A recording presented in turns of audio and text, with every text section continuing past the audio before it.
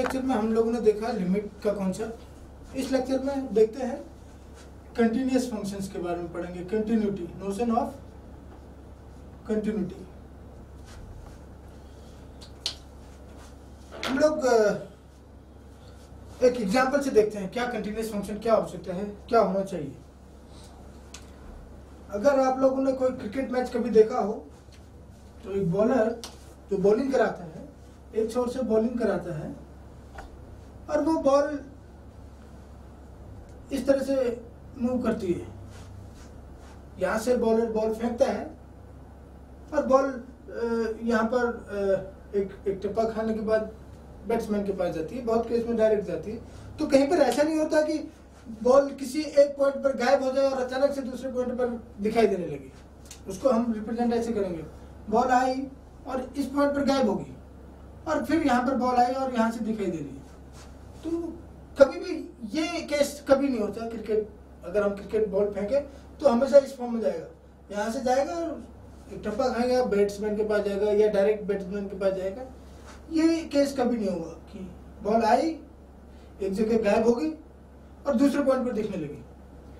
तो ऐसे फ़ंक्शंस को अगर कोई इस तरह के, इस तरह के बिहेवियर को हम कंटिन्यूस बिहेवियर कहते हैं। यहाँ पर दूसरे केस में यहाँ पर इसको दूसरे एग्ज़ाम्पल से देखें। अगर मैं इसको मैं प्लॉट करूँ तो मेरे को कभी भी अपना ये पेन उठाना नहीं पड़ रहा है। मैं स्मूथली इसको बना सकता हूँ। इसको बिना पेन अपना बिना पेन उठाए इसको बना पा रहा हूँ। लेकिन दूसरे वाले केस में क्या हो रहा है? यहाँ से यहाँ तक मेरे को अब पेन उठाना पड़ता है और यहाँ से मैं शुरू करता हूँ। इस बिहेवियर को कंटिन्यूस बिहेवियर कहते हैं, इसको डिसकंटिन्यूस बिहेवियर कहते हैं। So this is continuous behavior. This is discontinuous.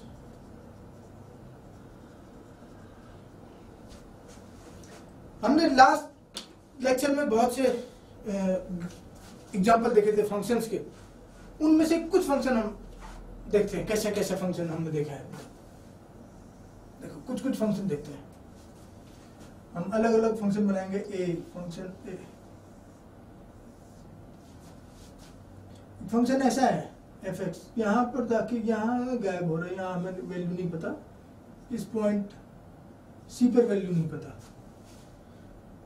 एक फ़ंक्शन जिसका ग्राफ ये है। बी एक ऐसा फ़ंक्शन जो इस सी पॉइंट पर कोई दूसरा वैल्यू लेता है। एफ़ सी कुछ और। यहाँ पर ये एफ़ सी पॉइंट है। तीसरा,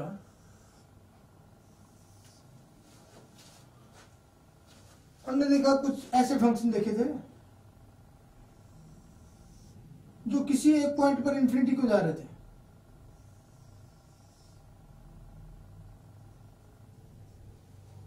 ये लाइन कुछ ऐसे फ़ंक्शन थे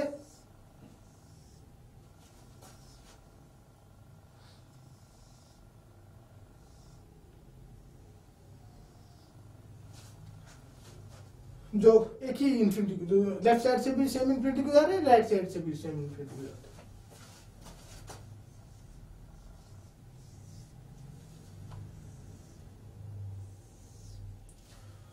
कुछ फ़ंक्शन ऐसे थे।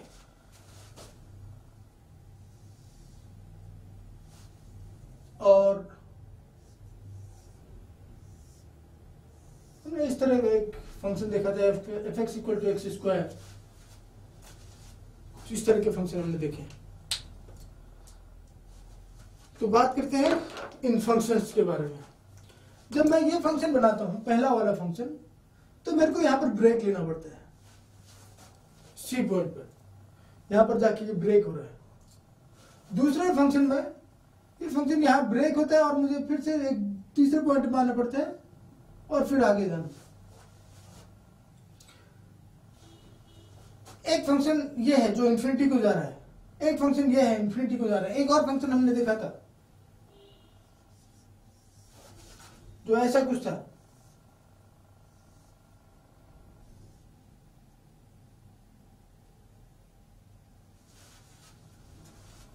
यहाँ पर वैल्यू नहीं ले रहा है। वैल्यू नहीं ले रहा है। ये सब फ़ंक्शन हम देखे थे। तो इन फ़ंक्शंस में मेरे को हमेशा अगर मैं ए बी सी डी और जी फ़ंक्शन लू मेरे को इनके ग्राफ बनाने में हमेशा अपने पेन उठाना पड़ा किसी पॉइंट पे मुझे पेन उठानी पड़ती लेकिन जैसे ही मैं ई वाला फ़ंक्शन ड्रॉ करता हूँ मैं बिना पेन उठाए उसे ड्रॉ कर सकता हूँ। बिना पेन उठाए इस फ़ंक्शन एफ़ को ड्रॉ कर सकता हूँ, ये वाले फ़ंक्शन को। ये दोनों कंटिन्यूस बिहेवियर वाले फ़ंक्शन है। कंटिन्यूटी है। इन फ़ंक्शन में ये डिसकंटिन्यूस बिहेवियर का फ़ंक्शन है तो पहले मैं डिसकंटिन्यूटी की बात करते हैं और उसके बाद मैं आपको कंटिन्यूस फ़ंक्शन की डेफिनेशन दूँगा। तो हम देखते हैं किस किस तरह की डिसकंटिन्यूटी हमें देखने को मिल रही है।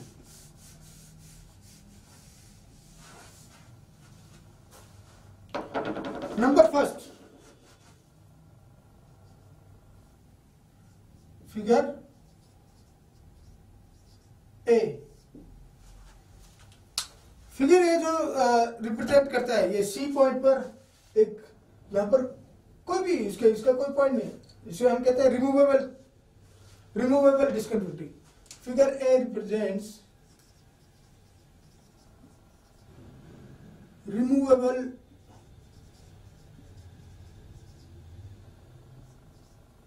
discontinuity.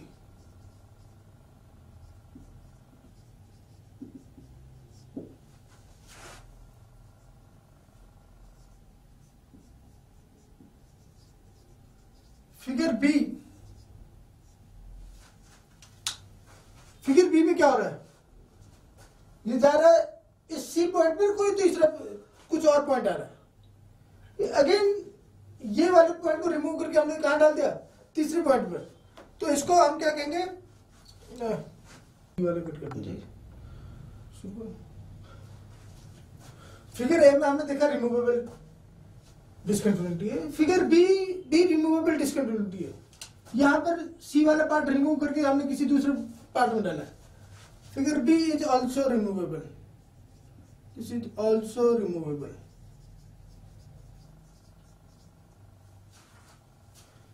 Figure C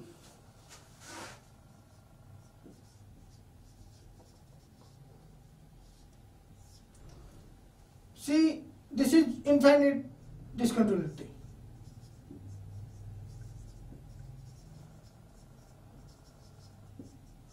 किसी एक पॉइंट पर इंफिनिटी हो जाता है। सेम फिगर टी भी है। Figure T also also this D is also infinite discontinuity. This represents infinite discontinuity. Figure G यहाँ पर क्या है? जब मैं लेफ़्ट साइड से ज़ीरो को आऊँगा ज़ीरो पर जंप करा, फिर से जंप करा। इसे जंप डिस्कंटिन्यूटी कहते हैं।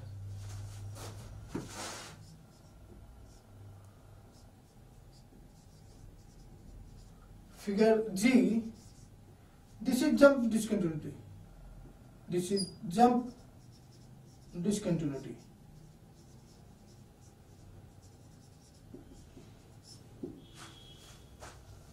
And figure E and F,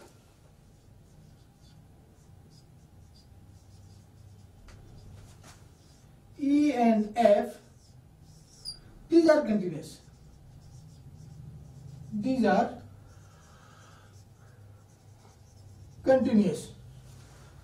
अब कंटिन्यूस क्यों है? इसको देखें। ये कंटिन्यूस क्यों नहीं था? अगर हम लेफ़्ट हैंड साइड से लिमिट देखें तो ये वाला पॉइंट इसको मान लेते हैं हम एल कहते हैं। Left hand side left hand limit L है राइट हैंड लिमिट भी एल है। लेकिन वो किसके बराबर नहीं है? इस पर डिफाइंड ही नहीं है फ़ंक्शन डिफाइंड नहीं है। तो कंटिन्यूटी होने के लिए नंबर एक चीज़ फ़ंक्शन को डिफाइंड होना चाहिए उस पॉइंट पर। तो हम जो जो चीज़ें जो जो जो जो कंडीशन है, वो किसी पॉइंट सी पर कंटिन्यूटी के लिए वो चीज़ें लिखते हैं। क्या क्या होना चाहिए? नंबर एक function should be continuous sorry function should be defined function उस पॉइंट पर डिफाइंड होना चाहिए। Function should be defined on x equal to c function उस पॉइंट पर डिफाइंड हो। दूसरा इस केस में फ़ंक्शन डिफाइंड है। लेफ़्ट हैंड लिमिट भी और राइट हैंड लिमिट भी एल है सेम दोनों इक्वल है left hand limit right hand limit लेकिन वो किसके बराबर नहीं है? सी के वो एफ़ सी के बराबर नहीं है। दूसरा केस क्या होना चाहिए?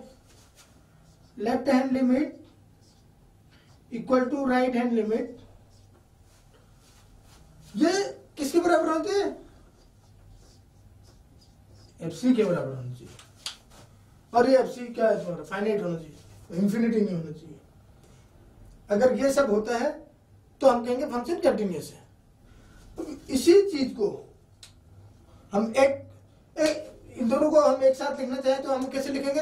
इन दोनों को एक साथ लिखना चाहिए। This one and two implies one and two both implies इसको एक साथ कैसे लिखेंगे? इसको लिखेंगे limit f x equal to f c as x goes to c तो फ़ंक्शन कंटिन्यूस होने के लिए क्या कंडीशन है? This limit of f x as x goes to c equal to f c f c should be defined and left hand limit and right hand limit both are equal and uh, equal to fc if this happens तो हम कहते हैं अगर ये सब होता है तो हम कहेंगे फ़ंक्शन उस पॉइंट सी पर कंटिन्यूस है। ठीक है? अब इसको फिर से हम, हमने लिमिट में देखा एप्सिलॉन डेल्टा डेफिनेशन इसको एप्सिलॉन डेल्टा डेफिनेशन में देखते हैं। कैसे एप्सिलॉन डेल्टा डेफिनेशन अब हम बात करते हैं डेफिनेशन की। डेफिनेशन ऑफ़ कंटिन्यूस फ़ंक्शन और कौन सी डेफिनेशन की बात कर रहे हैं epsilon delta definition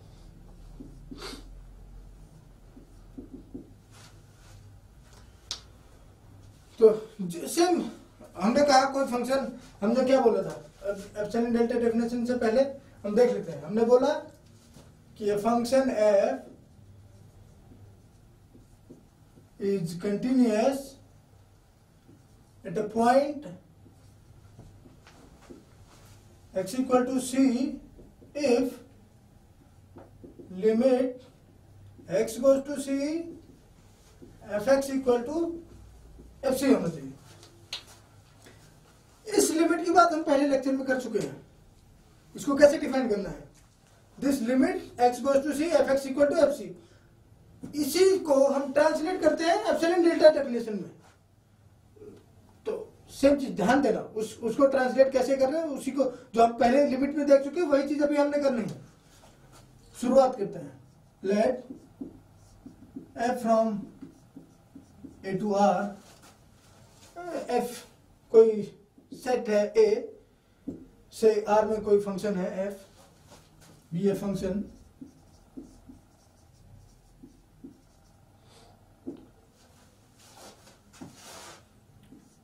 the function f is called continuous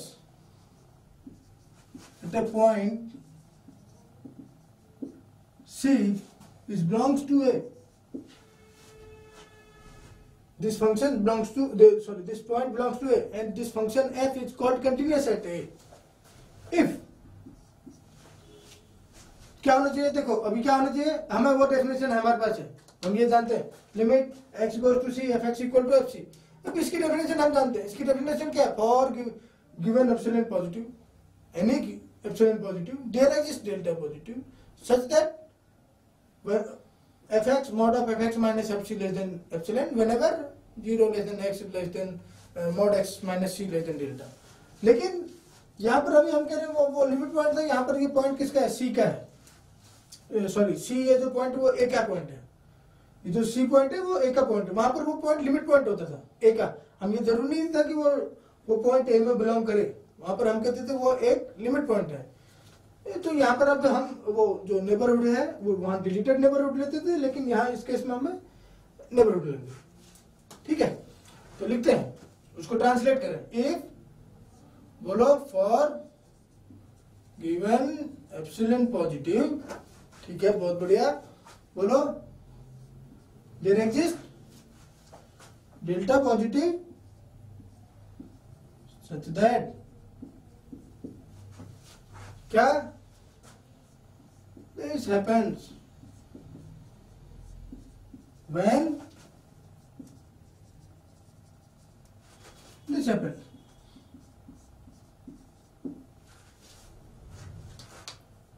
ठीक है so mod of fx minus c less than epsilon epsilon if uh, mod of x minus c less than delta if this happens we say f is continuous at a point c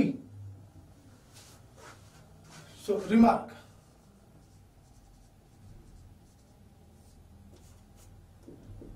We say f is discontinuous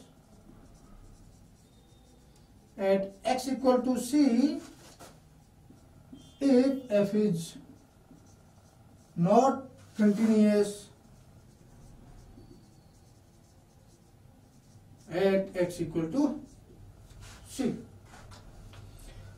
अब इस epsilon delta definition से कुछ अ, इस epsilon delta definition का use करके हम लोग प्रूव करेंगे कि कोई फ़ंक्शन कंटिन्यूस है या नहीं है। देखते हैं। एक एग्जांपल देखते हैं। Easy example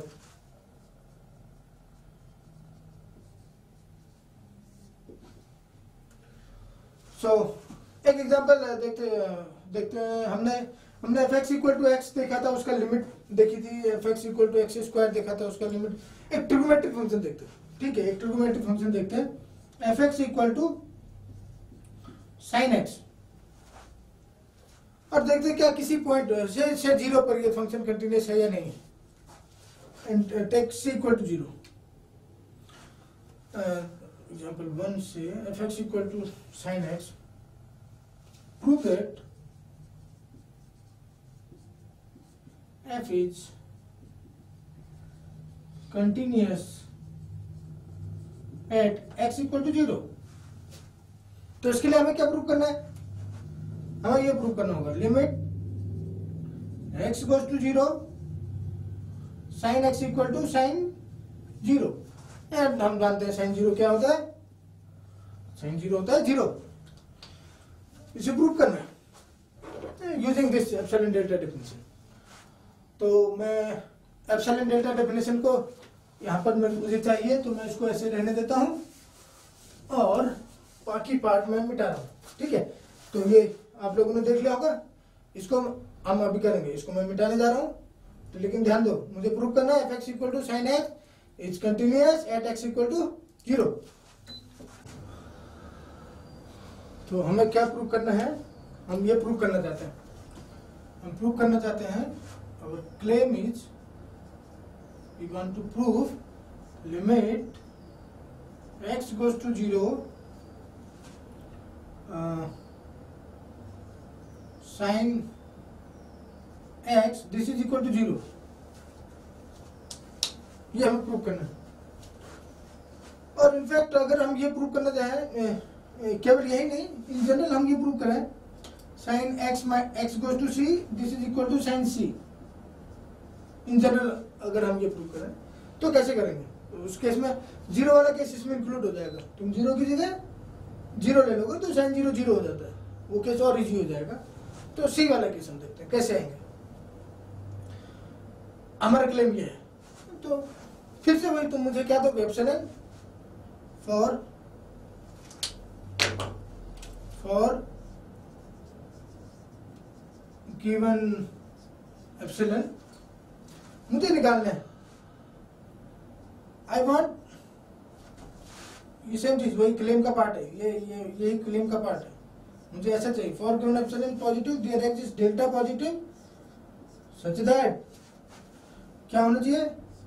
Mod of x minus c less than delta implies this sin x minus sin c this is less than epsilon ठीक है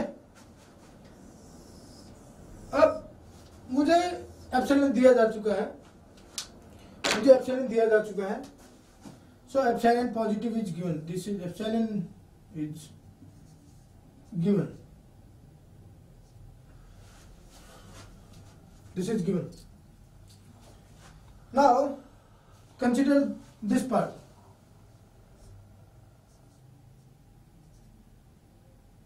Sine x minus sine c this should be less than epsilon whenever mod x minus c less than delta ऐसा हमने निकालना, हमें prove करना delta लाना तो sine x minus sine c का फॉर्मूला जो ट्रिग्नोमेट्रिक फॉर्मूला है, हमने इलेवन ट्वेल्थ क्लास में पढ़ा हुआ है। This is equal to two cos x plus c by two sine x minus c by two ठीक है? ये फॉर्मूला हम जानते हैं। और हम ये भी जानते हैं कि ये जो कॉस है दो इक्वलिटीज हम जानते हैं। कौन कौन सी? हम कुछ चीज़ें जानते हैं। क्या ये चीज़ हम जानते हैं? Cos theta is always less than equal to mod of cos theta is always less than equal to one और दूसरा हम हम इसका यूज़ करेंगे। सो so, यहाँ से क्या आएगा? कॉस एक्स प्लस तो इसको मैं इस फॉर्म में लिख सकता हूँ। This is same as two mod cos x plus c by two mod sine x minus c by two ठीक है? This should be less than equal to this is less than equal to one तो ये क्या आएगा two sine x minus c by two mod और हम use करेंगे, देखो, ये ये मॉड एक्स माइनस सी जो है बहुत ग्रेटर देन ज़ीरो और greater than equal to zero और थीटा ये ये बहुत छोटा है मॉड एक्स माइनस सी बहुत छोटा है, और हम जानते हैं for small values of theta this mod of sine theta is mod theta तो यहाँ से मुझे क्या मिलेगा? This is less than equal to mod x minus c by 2 into 2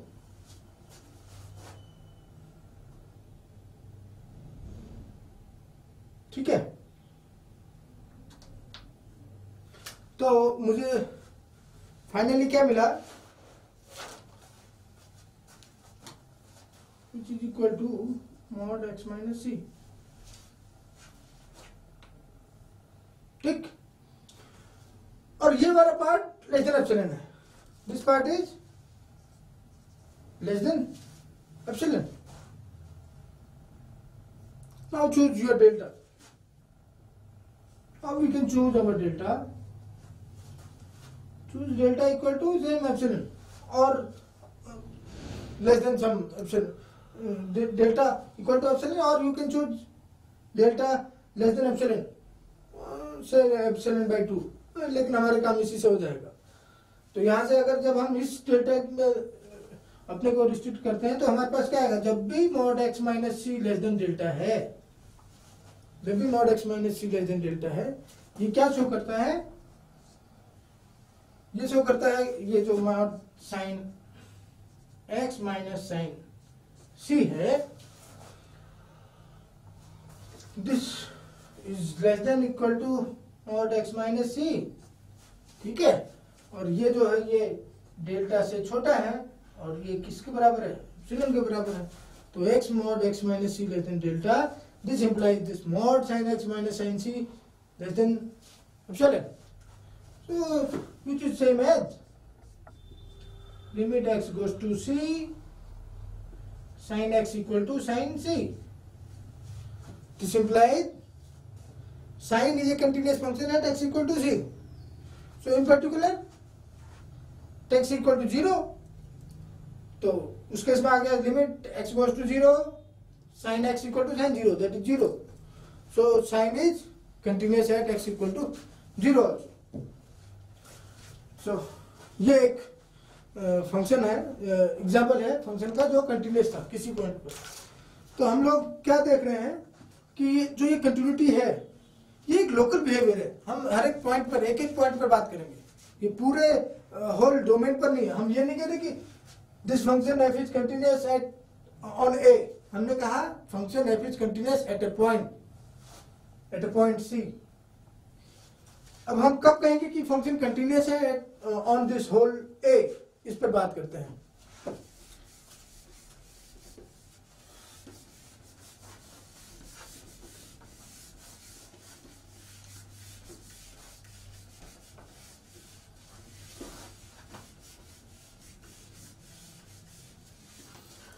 If remark हमने बोला remark this continuity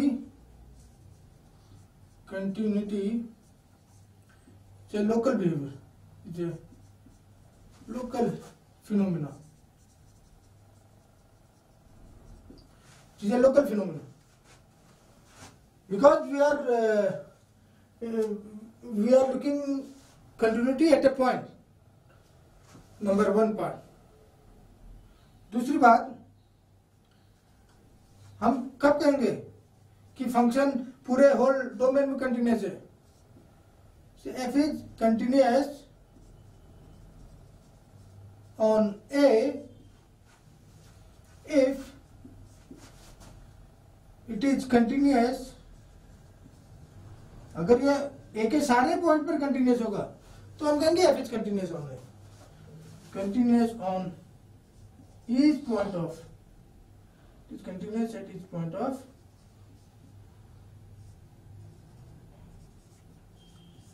A तो अगर वो ए के सभी पॉइंट पर कंटिन्यूस होता है तो हम कहेंगे function f is continuous on A तो फॉर एग्जांपल जो भी हमने थोड़ी देर पहले एग्जांपल देखा है साइन एक्स का, वो sine x is continuous on is that whole real line क्योंकि वो सभी पॉइंट पर, सभी रियल नंबर सभी रियल पॉइंट पर वो क्या है? कंटिन्यूस है। तो हम कहेंगे sine x is continuous on R ठीक है? हमने क्या क्या देखा?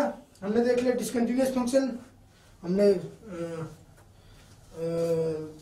उनको क्लासिफाई भी किया जब डिसकंटिन्यूटी रिमूवेबल डिसकंटिन्यूटी और साथ में इनफाइनाइट डिसकंटिन्यूटी और हमने देखा कंटिन्यूटी की डेफिनेशन हमने एग्जांपल देखा, और हमने देखा कि कंटिन्यूटी एक लोकल फिनोमिना है।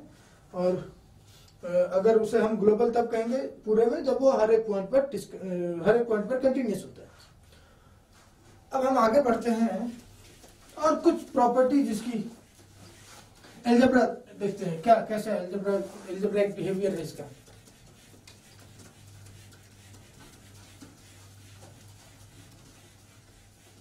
एल्जेब्रा से मेरा मतलब है, अगर मेरे पास कोई दो फ़ंक्शन है f A to R and g A to R these are two functions, f and g are two functions on a domain a. मैं यहाँ पर डोमेन कह रहा हूँ डोमेन का मतलब f का डोमेन और g का domain these are sets A ये दो सेट है ए और इस केस में एफ़ का भी डोमेन ए है और जी का डोमेन भी ए है. तो क्या मैं इसको कैसे कह सकता हूँ? एफ़ प्लस जी इसको डिफाइन करते हैं. एफ़ प्लस जी को f x plus g x दूसरा product of two function f x into g x तीसरा। यहाँ पर हमें f minus g f x minus g x एक और बार, एक और चीज़ हम डिफाइन करें। उसके लिए फोर्थ तभी डिफाइन करेंगे if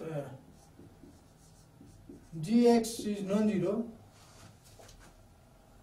x in A मान लेते हैं। देन हम डिफाइन कर पाते हैं f by g of x equal to f x upon g x and in this case this is true for all x हाँ।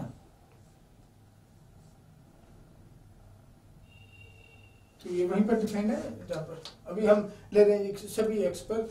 ये क्या है? नॉन ज़ीरो है। और उस केस में हम, ये इसे sum of two function this is sum of two function product of two function difference और सब्ट्रैक्शन दिस इज़ क्वेश्चन हम, ये बहुत इजी एक्सरसाइज है।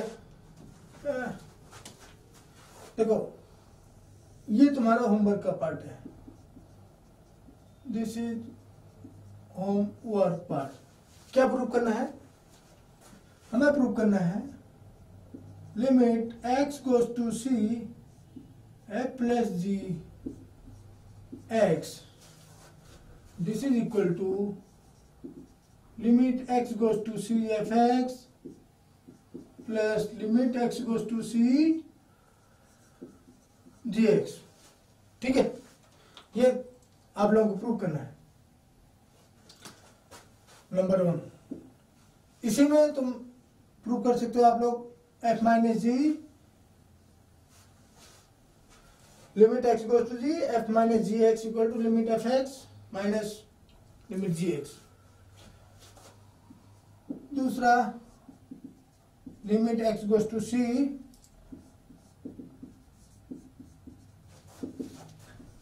prove करो this is equal to limit of f x to limit of x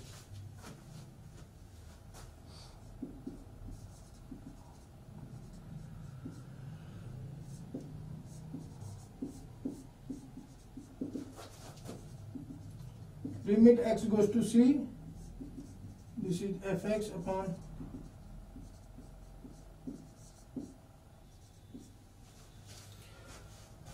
लेकिन ये केवल उसी केस में है यहाँ पर हम एक चीज़ तुम्हें मान के चल रहे हैं कि limit this c is finite this c is finite अभी हम किसी और की बात नहीं करेंगे, हम केवल फाइनाइट की बात कर रहे हैं। C is finite and limit fx and limit x goes to c gx these are also finite, are also finite अगर हमारे पास सी फाइनाइट है और इनके लिमिट एफ़ की limit at c and g की लिमिट वो भी सी पर, वो भी फाइनाइट है तो ये सब होता है। ये तुम्हें होमवर्क में करना है। अब मैंने फाइनाइट क्यों बोला? इसके लिए इसका कारण है। वो कारण यह है कि देखो, अगर किसी एक की लिमिट इनफाइनाइट हो जाए, या इस केस में देखो, ये ये लिमिट किसी एक की इनफाइनाइट हो जाए, वन, ये जी की लिमिट इनफाइनाइट हो जाए, मान लो। तो क्या होगा उस केस में? यहाँ पर एक की लिमिट ज़ीरो को जा रही है, एक की लिमिट इन्फिनिटी को जा रही है। तो क्या ज़ीरो डॉट इन्फिनिटी किस फॉर्म का होगा? ठीक है? तो इसीलिए मैंने इस एम्बिग्यूटी को दूर करने के लिए मैंने फाइनाइट किया। लेकिन वहाँ पर भी हम बात करेंगे, वो वो दूसरी क्लास में जब हम बात कर रहे होंगे इंडिटरमिनेंट फॉर्म वहाँ पर हम बात करेंगे जब एक कोई कोई इन्फिनिटी को भी जा रहा हो। लिमिट इन्फिनिटी को भी जा रही हो। अभी हम केवल यहीं पर रिस्ट्रिक्ट करते हैं खुद को कि ये दोनों लिमिट किसमें है? फाइनाइट है सी फाइनाइट है और ये सब हो है। अगर मान लेते हैं कि अब तुम ये प्रूव कर चुके हो होमवर्क में मान लेते हैं कि ये सब तुम प्रूव कर चुके हो तो यहाँ से देखें पहले वाले कंडीशन से। Limit x goes to c f plus g x equal to limit x goes to c f x plus limit x goes to c g x ठीक है? तो यहाँ से आएगा, अगर एफ़ भी कंटिन्यूस है जी भी कंटिन्यूस है एफ़ प्लस जी कंटिन्यूस हो जाएगा। ये दूसरे वाले से आएगा कि लिमिट अगर ये एफ़ कंटिन्यूस है जी कंटिन्यूस है एफ़ इंटू जी भी कंटिन्यूस होगा। यहाँ से आएगा वो। तीसरा वाला क्या है? वो पहले वाले पार्ट से आ जाएगा। कि अगर एफ़ कंटिन्यूस है जी कंटिन्यूस है एफ़ माइनस जी भी कंटिन्यूस होगा। और सेम ये थर्ड वाले पोर्शन से ये वाला पार्ट आएगा कि अगर एफ़ कंटिन्यूस है, किसी पॉइंट पर जी कंटिन्यूस उसी पॉइंट पर तो f by g x equal to ये जो फ़ंक्शन है, ये भी कंटिन्यूस होगा उस पॉइंट सी पर। ये इसकी एल्जेब्रा थी। अब देखते हैं क्या कंपोजिशन में क्या होता है। अगर हमारे पास दो फ़ंक्शन है एफ़ ए से बी में और जी, दूसरा फ़ंक्शन है बी से सी में। तो देखते हैं क्या इनका कंपोजिशन कंटिन्यूस होगा। दोनों फ़ंक्शन हम कंटिन्यूस ले रहे हैं। देखते हैं।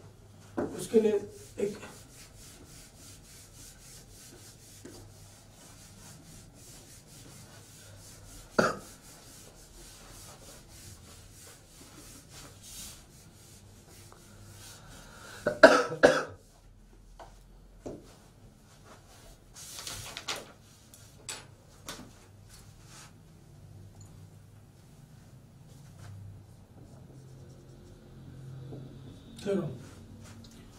क्या बोला हमने? क्वेश्चन था कि कोई फ़ंक्शन एफ़ किसी सेट ए से बी में है, दूसरा फ़ंक्शन जी उस सेट बी से, इसी सेट सी में है। इन दोनों फ़ंक्शन का कंपोजिशन क्या वो कंटिन्यूस होगा? Let f from A to B and g from b to c b two functions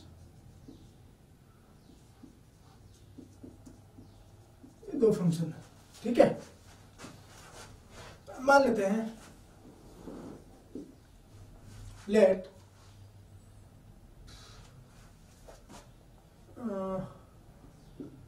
f is continuous at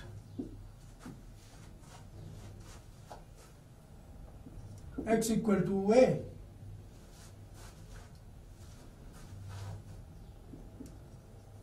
And g is let it let f be continuous. Let f be continuous at x equal to a and g be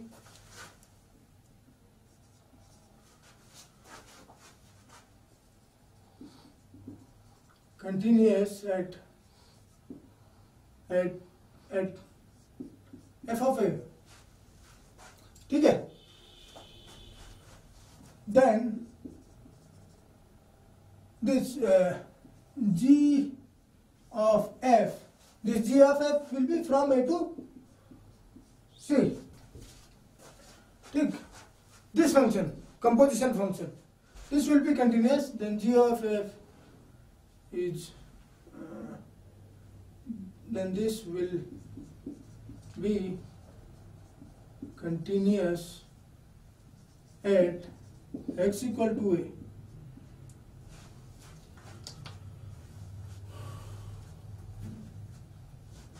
ठीक है?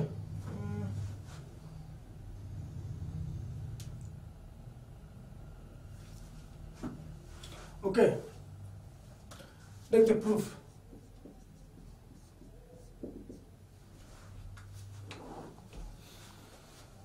हमने क्या कहा? जी ठीक है। तो prove करने के लिए वही कोई एक एप्सिलॉन तुम हमें दोगे, हम डेल्टा देंगे। तो इस जी और एफ़ के लिए कोई एक एप्सिलॉन आपने दिया। ठीक है? गिवन एप्सिलॉन पॉजिटिव ठीक? और दूसरी बात क्या है? ये जो जी और एफ़ दोनों कंटिन्यूस है। G and F both are continuous. So first वाले पार्ट में मैं क्या लेता हूँ? This continuous given this epsilon positive since g is continuous at at f a g is continuous at f a इसका मतलब क्या बताओ? इसका मतलब है for this given epsilon positive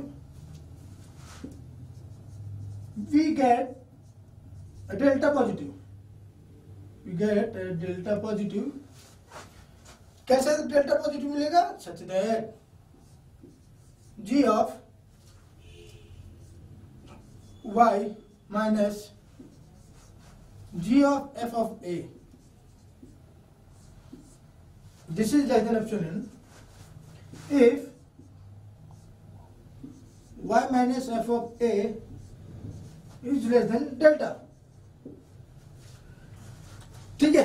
कोई दिक्कत इसमें? अब ये एफ़ भी कंटिन्यूस है। ये एफ़ भी कंटिन्यूस है। और यहाँ पर अभी हमें ये डेल्टा मिला है तो इसका मतलब इस डेल्टा के लिए मुझे कुछ डेल्टा वन मिलेगा। Now, f is also continuous, f is also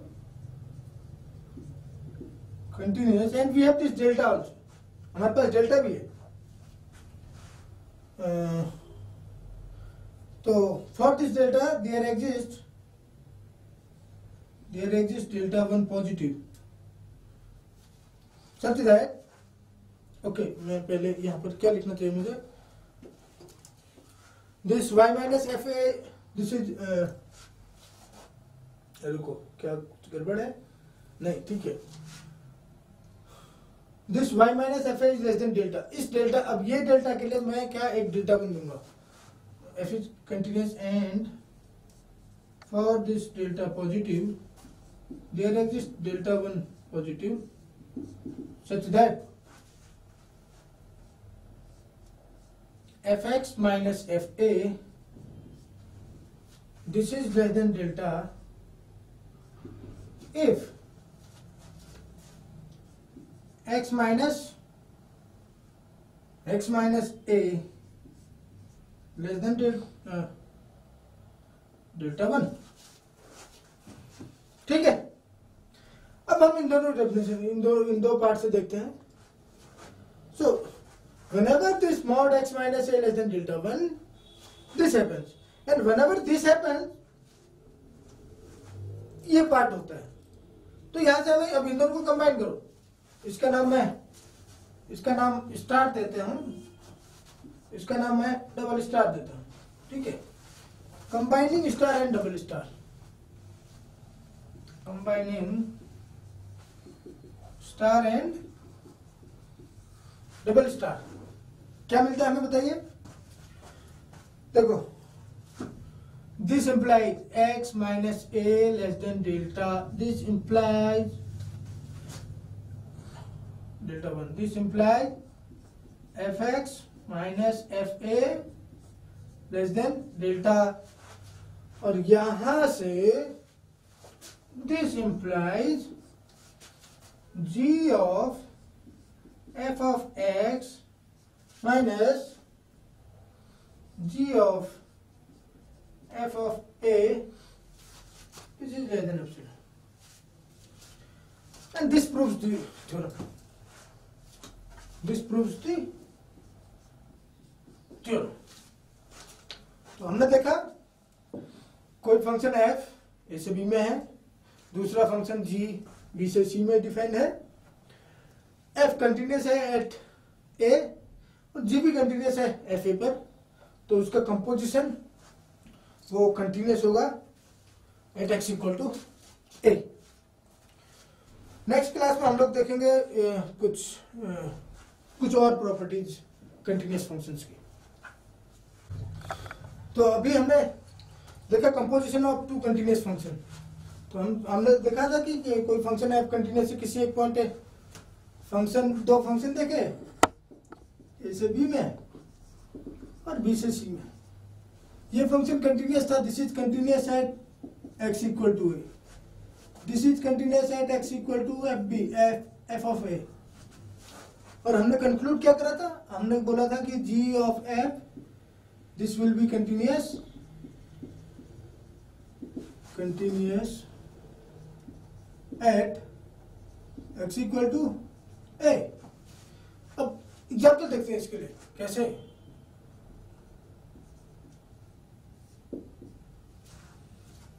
हम जानते हैं ये sine x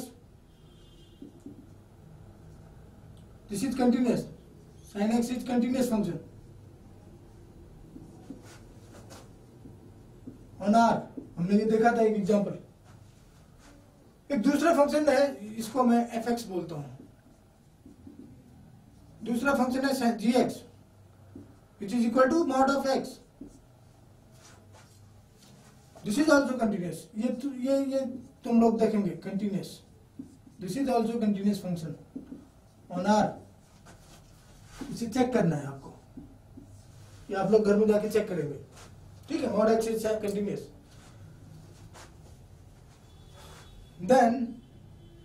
this is from R to R this is also from uh, R to positive R. तो हम हम दो दो तरह के फ़ंक्शन देख रहे हैं। कौन कौन से? हम दो दो फ़ंक्शन देख रहे हैं। एक number one sine mod x number दूसरा मॉड ऑफ़ साइन एक्स हम ये दो फ़ंक्शन पर बात करते हैं। और हम देखेंगे कि ये दोनों फ़ंक्शन क्या है। कंटिन्यूस है। साइन मॉड एक्स कैसा होगा और मॉड ऑफ़ साइन एक्स कैसा होगा। हम प्रीवियस थ्योरम जो हमने अभी देखी, उससे बोल सकते हैं कि ये फ़ंक्शन कंटिन्यूस है। लेकिन इसका ग्राफ हम देख लेते हैं और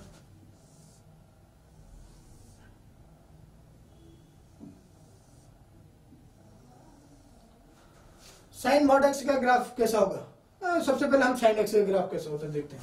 साइन एक्स का ये ये साइन एक्स का ग्राफ है। ठीक है? ये ये वन है ये माइनस वन है। अ, थोड़ा अच्छा नहीं बना लेकिन साइन एक्स का ग्राफ कुछ ऐसा होता है। इसकी वजह से हम साइन मॉड एक्स का ग्राफ बनाए। तो साइन मॉड एक्स का ग्राफ कैसा होगा? बताएँ साइन मोड एक्स ग्राफ कैसा होगा? This is graph of sine x sine mod x इसको बनाने के लिए, जब एक्स पॉजिटिव है, उस केस में सेम ग्राफ बन रहा है। जब एक्स निगेटिव है, उस केस में ये मॉड एक्स जो है, वो पॉजिटिव की तरफ़ बिहेव करेगा तो फिर से ये कैसा ग्राफ बनेगा? ओके तो ये साइन एक्स का ग्राफ कुछ ऐसा बना साइन मोड एक्स का, ठीक है? तो अगर तुम ग्राफ से देखेंगे तो ये क्या है? एक कंटिन्यूस फ़ंक्शन है। लेकिन तुम यूज़ करोगे क्या? कंपोजिशन दूसरा मॉड साइन एक्स देखें